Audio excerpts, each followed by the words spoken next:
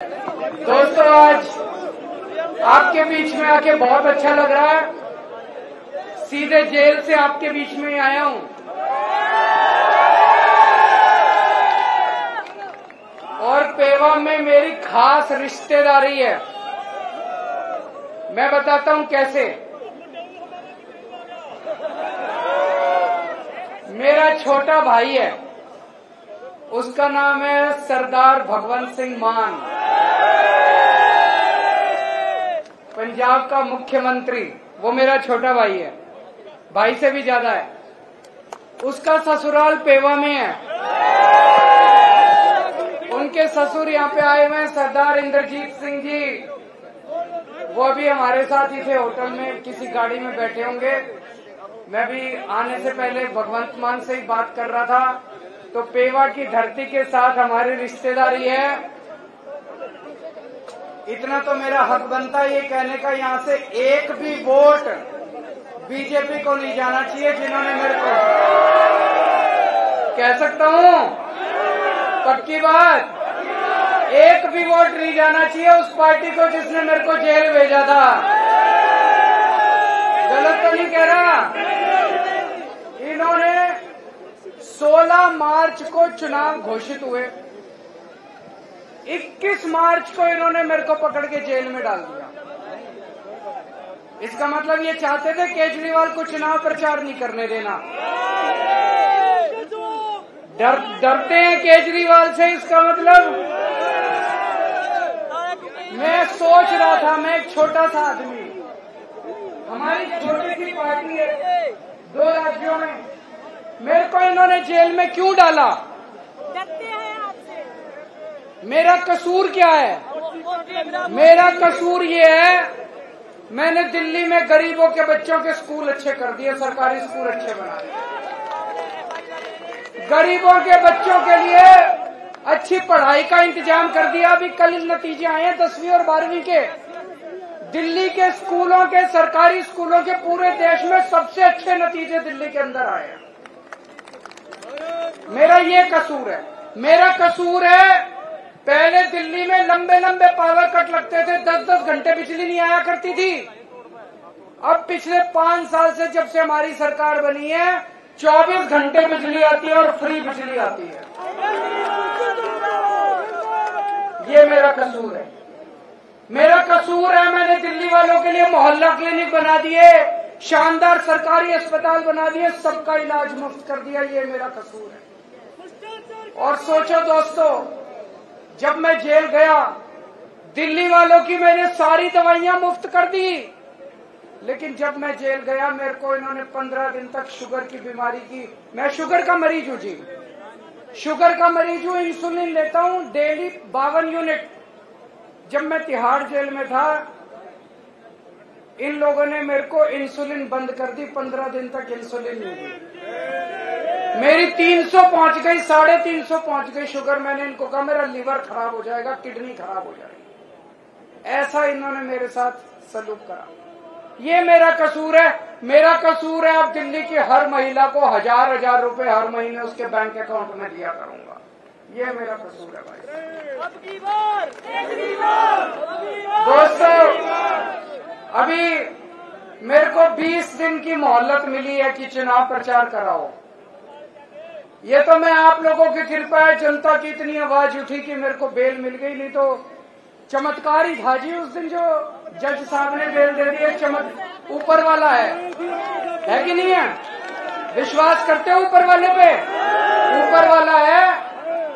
अब जिस दिन बटन दबाने जाओगे अगर तो आपने कमल का बटन दबाया, मैं जेल चला जाऊँगा।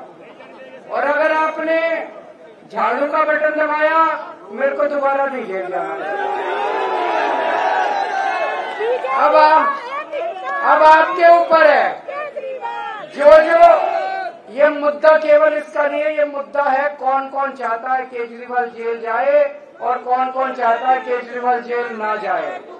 जो जो जिस जिस दिन बटन दबाने जाओ, मन में ये सोच लेना, केजरीवाल को जेल भेजना है कि नहीं भेजना। दूसरी बात, दिल्ली का मुख्यमंत्री हूँ। आज से तीन साढ़े तीन साल पहले मैं देख रहा हूँ, आप में से बहुत सारे किसान हैं। हैं कि नहीं है? पूरे देश के किसान, खासकर हरियाणा और पंजाब के किसान दिल्ली के लिए रवाना हुए थे। हरियाणा और पंजाब के किसान खासकर दिल्ली के लिए रवाना हुए थे। उनको दिल्ली में नहीं घुसने दिया। मेरे को बड़ा बुरा लगा। मेरी चली नहीं क्योंकि पुलिस हमारे पास नहीं है। दिल्ली के अंदर पुलिस हमारे पास नहीं। इन्होंने सड़कों के ऊपर कीले ठोक दी। चाइना जब हमारी ज़मीन हड़पता है, उनके लिए कीले नहीं ठोकते। पाकिस्तान जब हमारी ज़मीन पे कब्जा कर लेता है, उनके सामने इनकी हिम्मत नहीं होती। किसानों के बोल्डर लगा दिए सीमेंट के। कीलें ठोक दी। इन्होंने किसानों को दिल्ली में नहीं घुसने दिया। जैसे कि किसान दुश्मन है, इनके पिताजी की दिल्ली है। दिल्ली इस देश के 140 करोड़ लोगों की आपकी दिल्ली है। इनकी दिल्ली है। इस बार ऐसा बटन दबाना, ऐसा बटन दबाना, इन लोगों को दिल्ली के बाहर कर देना, दिल्ली के बाहर। करोगे नहीं करोगे इनको दिल्ली से बाहर भगाना नहीं भगाना हमारी पहलवान बेटियाँ, हमारी पहलवान बेटियों के साथ इन्होंने कितनी बदतमीजी करी। देखा आप लोगों ने?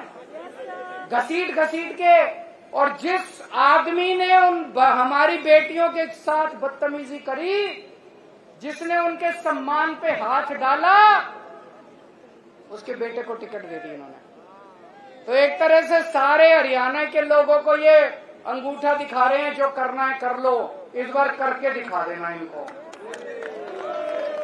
जिन लोगों ने हमारी पहलवान बेटियों की इज़्ज़त पे हाथ डाली, इस बार बटन दबा के उनको ऐसा सबक सिखाना, ऐसा सबक सिखाना, दोबारा हमारी बेटियों की तरफ़ उंगली ना उठा और एक चीज़ समझ लेना, पूरी तानाशाही मचा रखी है इन्होंने, पूरी तानाशाही। मेरे को गिरफ़्तार कर लिया।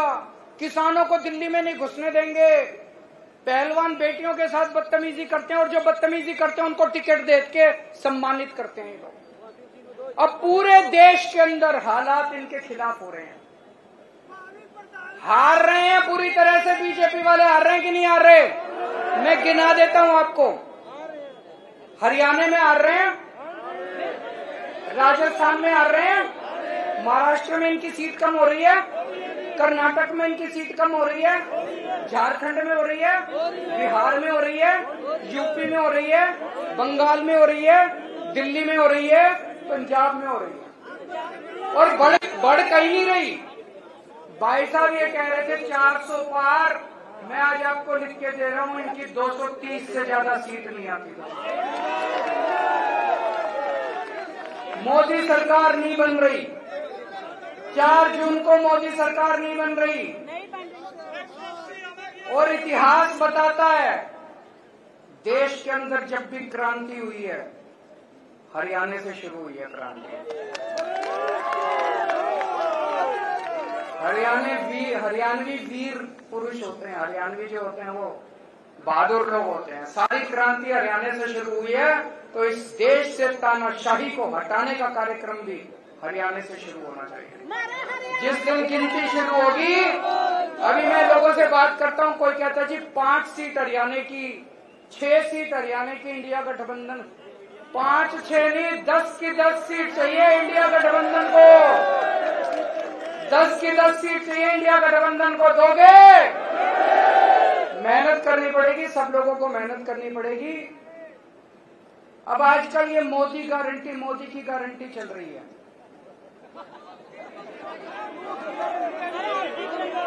फर्जी गारंटी है, उन्होंने गारंटी दी थी पंद्रह पंद्रह लाख रुपए आए किसी के? उन्होंने गारंटी दी थी एक साल में दो करोड़ नौकरी दूँगा, किसी को नौकरी मिली? उन्होंने गारंटी दी थी, एमएसपी दूँगा, स्वामीनाथन रिपोर्ट लागू करूँगा, किया उन्होंने? उन्होंने गारंटी दी थी 2022 तक किसानों की आय दुगनी हो जाएगी हुई कोई? उन्होंने गारंटी दी थी 100 स्मार्ट सिटी बनाऊँगा, बनाया कोई इसमें एक भी गारंटी पूरी नहीं की। आज केजरीवाल आपको गारंटी देके जा रहा है। भारतीय झूठी पार्टी है। आज मैं आपको गारंटी देके जा रहा हूँ, ये केजरीवाल की गारंटी है। मैंने दिल्ली वालों को जितनी अभी तक गारंटी दी, सारी पूरी करी, इसीलिए दिल्ली वाले प्यार करते हैं आज मैं आपको गारंटी दे रहा हूँ एक तो ये चार जून को इंडिया गठबंधन की सरकार बन रही है केंद्र में। जो इंडिया गठबंधन की सरकार बनेगी, उसमें आम आदमी पार्टी की भी हिस्सेदारी होगी। ये जो मैं गारंटी दे रहा हूँ, ये केजरीवाल की गारंटी है। इंडिया गठबंधन के साथियों से मैंने पूछा नहीं है, लेकिन मैं उनको मना के पूरी कराऊँगा। पहली गारंटी, पूरे देश में 24 घंटे बिजली का इंतज़ाम कर दूँगा। दिल्ली में कर दिया, पंजाब में कर दिया, करना आता है।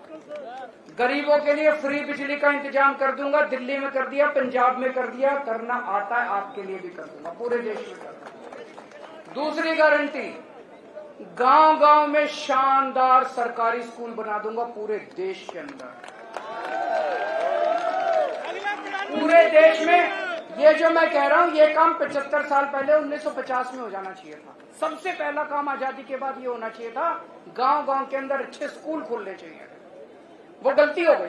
कोई नहीं, हम पूरी करेंगे। गाँव गाँव के अंदर शानदार सरकारी स्कूल बनाऊँगा, ऐसे स्कूल बनाऊँगा, आप अपने बच्चों को प्राइवेट से निकाल के सरकारी में भर्ती करा दो। तीसरी चीज़ गाँव गाँव के अंदर मोहल्ले मोहल्ले के अंदर मोहल्ला क्लिनिक बना दूँगा। हर ज़िले के अंदर शानदार सरकारी सिविल हॉस्पिटल बनाएँगे। एयर कंडीशन फैक्स और मोटे मैक्स और फोर्टिस से भी अपोलो से भी ज़्यादा अच्छे अस्पताल बनाएँगे सरकारी। और इस देश में पैदा होने वाले हर नागरिक का सारा इलाज मुफ़्त करेंगे। दवाइयाँ ऑपरेशन कोई बीमारी हो जाए, सारा इलाज मुफ़्त होगा इंश्योरेंस होना चाहिए, नहीं होना चाहिए?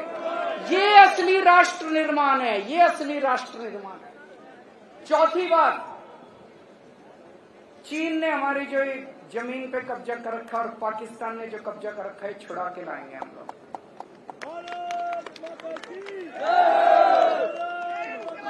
पांचवी बात, ये अग्निवीर स्कीम जो है, ये अग्निवीर स्कीम बहुत बड़ा धोखा है हमारे बच्चों के साथ। और केवल बच्चों के साथ नहीं है हमारी सेना को कमज़ोर कर रहा है।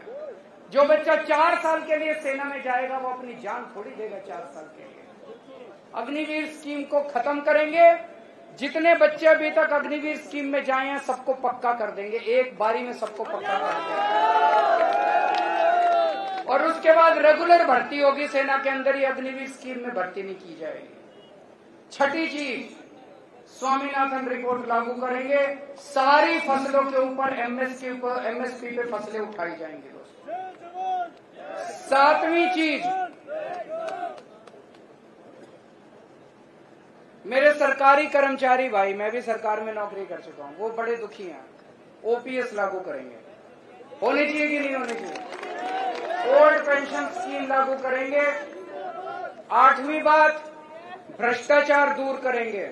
इनकी जो वॉशिंग मशीन है बीजेपी वालों की, सारे भ्रष्टाचारियों को धो धो के और फिर ईडी के केस भी खत्म बीजेपी इनकी वॉशिंग मशीन सबसे ज़्यादा भ्रष्टाचार का कारण है। इनकी वॉशिंग मशीन को चौराहे पर लाके तोड़ा जाएगा। असली में भ्रष्टाचार खत्म करेंगे, जैसे दिल्ली में और पंजाब में असली में भ्रष्टाचार खत्म किया। भ्रष्टाचार खत्म करेंगे, नौवीं बात, बेरोजगारी दूर करेंगे। मैंने दिल्ली में पिछले सात साल में 12 लाख बच्चों के लिए रोज़गार का इंतज़ाम किया। 12 लाख अभी पंजाब में भगवंत मान साहब ने अभी दो साल हुए पचास हज़ार से ज़्यादा सरकारी नौकरियाँ दे दी और तीन लाख से ज़्यादा प्राइवेट रोज़गार का इंतज़ाम किया। तो दो करोड़ रोज़गार का इंतज़ाम करेंगे और आखिरी बात मेरे व्यापारी भाइयों के लिए, ये जीएसटी बड़ी गंदी चीज़ है। है कि नहीं है? इसको ठीक करेंगे। जीएसटी का सरलीकरण करेंगे और मेरे आड़ती भाई जितने हैं, आड़ती भाइयों का मेरे को अभी गुप्ता जी बता रहे थे कमीशन कम कर दिया, ढाई परसेंट होता था वो, है ना? तो आड़ती भाइयों के लिए भी जो जो उनकी वो चल रही है, उनके लिए सारा सरलीकरण करेंगे, उनकी समस्याओं को ठीक करेंगे, व्यापारियों के लिए, उद्योगपतियों के लिए सरलीकरण करेंगे सारा। अब आपका समाधान चाहिए, आपका साथ साथ हाँ मान साहब की ससुराल है, यहाँ से निराश नहीं होना चाहिए। अब मैं सुशील गुप्ता जी के लिए तो वोट मांगने आया हूँ, झाड़ू पे तो वोट दोगे। पूरे हरियाणा के अंदर इंडिया गठबंधन को 10 की 10 सीट देनी है आप लोगों को। भारत माता की